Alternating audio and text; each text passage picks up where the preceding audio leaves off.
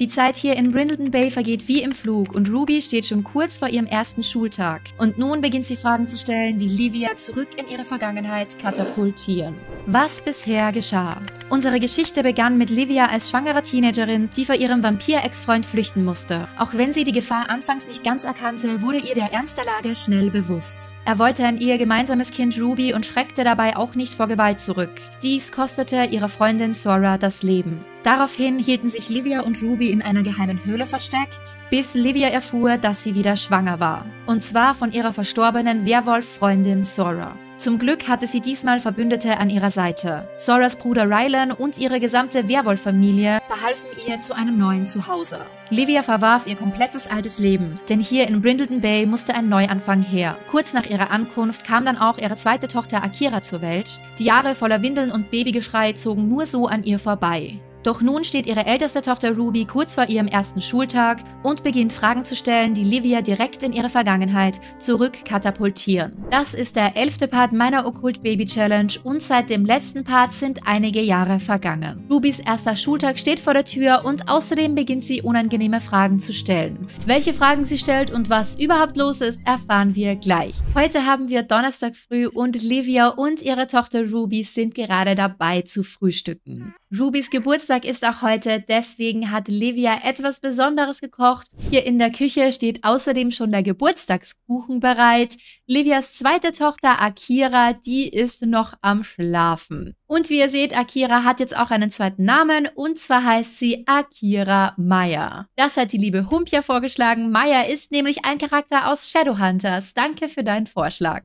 Die Familie hat sich mittlerweile im Brindleton Bay schon sehr gut eingelebt. Livia arbeitet nach wie vor als Barista und jede freie Minute verbringt sie natürlich mit ihren beiden Töchtern. Und eines ist ihr natürlich am wichtigsten, hier in Brindleton Bay gibt es keine bösen Vampire. In der Zwischenzeit ist unsere Livia auch zu jungen Erwachsenen geworden. Ich habe ihr jetzt das Merkmal Familienbewusst dazugegeben. Ich finde, das passt sehr gut zu ihr, da sie eben alles versucht, um ihre Töchter zu beschützen. Außerdem musste ich für sie ein neues Bestreben wählen. Ich habe hier jetzt einfach mal Supermutter ausgewählt, aber das werden wir vermutlich nicht beibehalten. Denn ich möchte das nur haben, solange bis wir uns entschieden haben, in welches okkulte Wesen Livia sich verwandelt verwandeln wird. Denn wenn wir sagen, dass Livia ein Werwolf wird, dann könnten wir hier das Lykanthropie-Bestreben nehmen. Oder sie wird zum Vampir und wir geben ihr Meistervampirin. Oder sie wird zur Hexe und wir geben ihr Zauberkunst und Hexerei. Das hängt natürlich davon ab, wie unsere Geschichte weitergeht. Falls du da aber eine andere Idee hast, lass sie mir sehr gerne in den Kommentaren da. Und während Livia ihrer Tochter beim Spielen zusieht, klingelt plötzlich ihr Handy und sie bekommt eine SMS von einer unbekannten Nummer. Ich habe deine Nummer von einem Freund. Bitte melde dich, wir müssen uns treffen. Mach dir keine Sorgen, die Blutsauger wissen nicht, wo du bist. Mir und den anderen geht es gut. Du bist nicht die Einzige mit übernatürlichen Beschützern. Dein Ivo. Livia weiß jetzt natürlich nicht, wie sie diese Nachricht interpretieren soll, denn im Gegensatz zu uns weiß sie noch nicht, dass Ivo in Verbindung mit Werwölfen steht. Wir haben im letzten Part nämlich eine spannende Verbindung herausgefunden.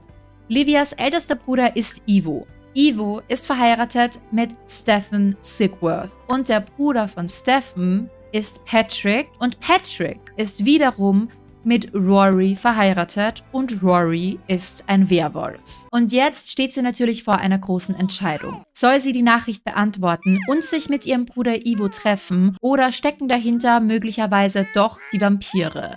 Was meinst du? Aber an diesem besonderen Tag für ihre Tochter hat Livia natürlich keine Zeit, sich mit dem Rest ihrer Familie zu beschäftigen. Deshalb wird sie jetzt gleich ihrer Tochter dabei helfen, die Geburtstagskerzen auszublasen. Alles Gute zum Geburtstag, Ruby. Ich bin schon so gespannt, wie sie aussieht. Ruby Victoria ist älter geworden. Sie war ein anhängliches Kleinkind. Da ich noch keine Ahnung habe, in welche Richtung sie geht, werde ich einfach dreimal hier draufklicken und sie ist ein Bücherwurm. Diese Sims erhalten mächtige Stimmungen, wenn sie Bücher analysieren und sie können auf einzigartige Weise über Bücher reden. Dann geben wir ihr als Bestreben am besten kreatives Genie. Aber schauen wir am besten gleich mal, wie sie nach dem Umstyling aussieht. Hier haben wir Ruby, unsere kleine Vampirin. Das ist ihr Alltagsoutfit. Hier haben wir die Abendkleidung, die Sportkleidung, Schlafkleidung, Partykleidung, Badekleidung, heißes Wetter und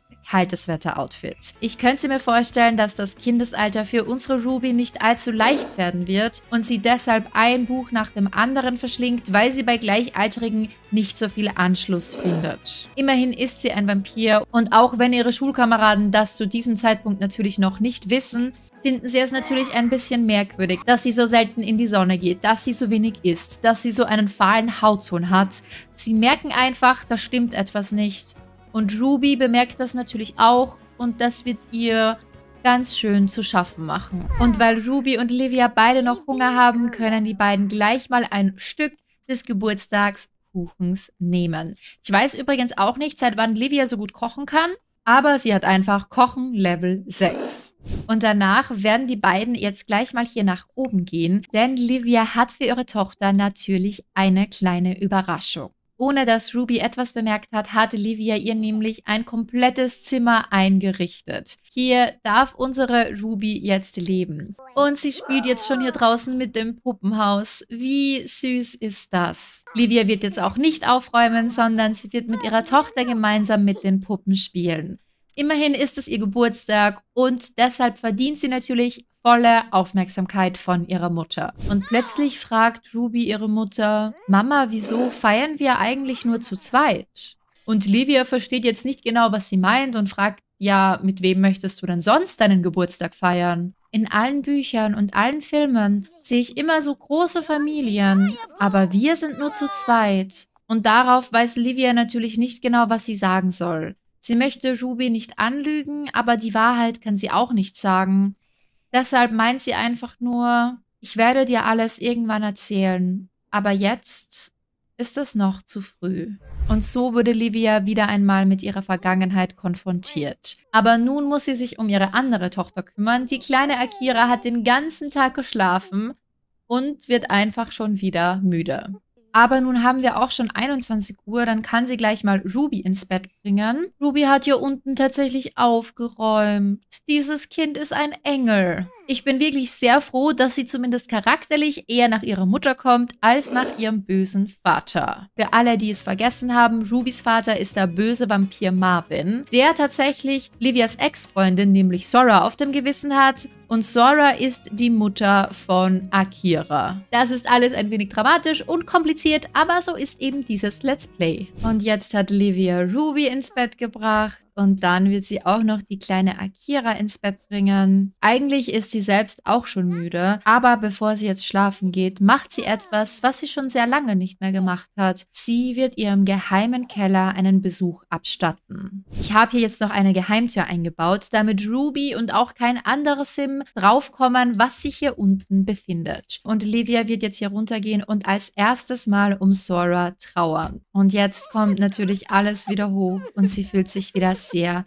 traurig. Und mit der Trauer kommt natürlich auch die Wut wieder hoch. Deshalb wird sie jetzt hier etwas lesen und über das okkulte Leben weiter recherchieren. Bevor wir nach Brindleton Bay gezogen sind, war Livia ja auf einem kurzen Abstecher im Reich der Magie. Dort hat sie die Welt der Hexen und Zauberer ein wenig näher kennengelernt, jedoch war das vor ihrem Umstyling. Das heißt, dort dürfte sie natürlich niemand mehr wiedererkennen und es wäre natürlich auch ein wenig riskant, dort jetzt plötzlich als blonde Livia wieder aufzutauchen. Und jetzt ist sie an einem Kapitel angelangt, das ihr bekannt vorkommt, denn sie liest wieder über Meer-Sims. Eigentlich hatte sie das Thema Meer-Sims schon abgehakt, denn die meisten Meer-Sims leben in Solani und dort hält sich auch ihr Bruder Oren meistens auf, beziehungsweise vielleicht lebt er auch schon dort, sie hat ja absolut keine Ahnung. Aber nun ist ja auch noch jemand anders eingefallen, nämlich Jonas Colette. Jonas Colette war ihr bester Freund in der Schulzeit und nebenbei auch noch Kind der Inseln. Sie haben sich jetzt natürlich auch schon Jahre nicht mehr gesehen und er würde sie blond auch niemals erkennen. Aber sie weiß natürlich jede Menge Dinge über ihn. Das heißt, sie könnte sich ihm ziemlich einfach wieder annähern und eine andere Identität vorspielen. Was meint ihr? Soll sie zurück in die Magierwelt oder sollen wir die Meersims bzw. ihren alten Highschool-Freund wieder ins Let's Play mit einbringen? Früher oder später wird vermutlich beides passieren, aber womit sollen wir beginnen?